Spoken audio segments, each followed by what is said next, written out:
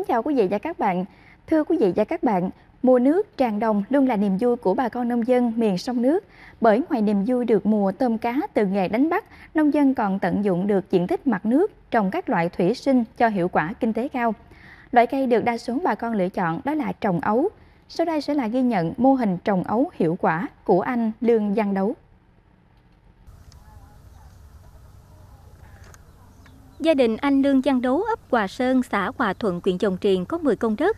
Anh trồng lúa hai vụ một năm, vụ còn lại anh cho nước vào ngập ruộng, nuôi cá trê vàng.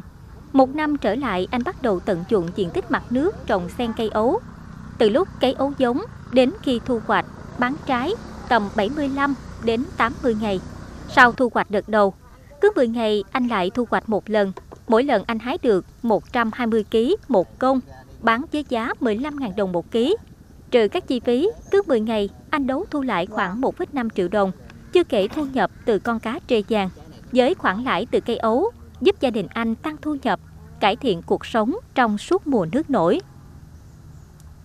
À, lúc trước thì con anh cũng à, làm thấy đạt hiệu quả.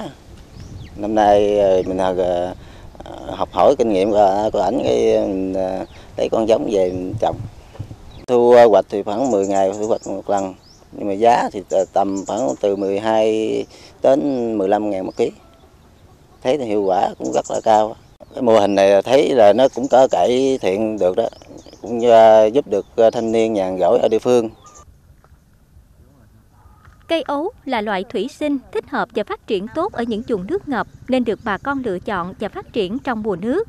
Ấu là cây dễ trồng, có thể canh tác quanh năm, nhưng tốt nhất vẫn là trong mùa nước nổi vì nước lũ mang theo phù sa, chất dinh dưỡng để ấu phát triển.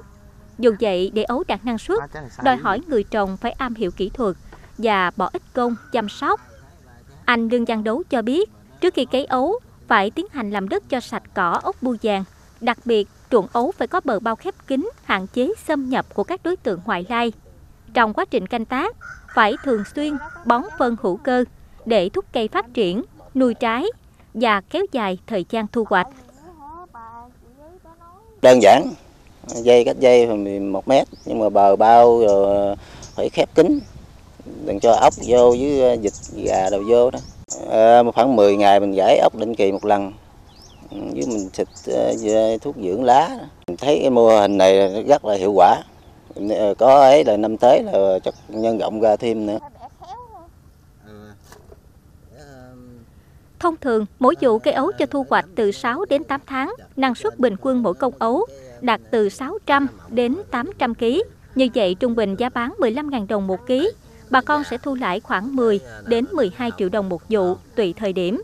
Từ thực tế cho thấy, trồng ấu không chỉ mang lại hiệu quả kinh tế cao cho nông dân, mà cây ấu còn góp phần giải quyết việc làm cho bà con nông thôn trong mùa nước nổi.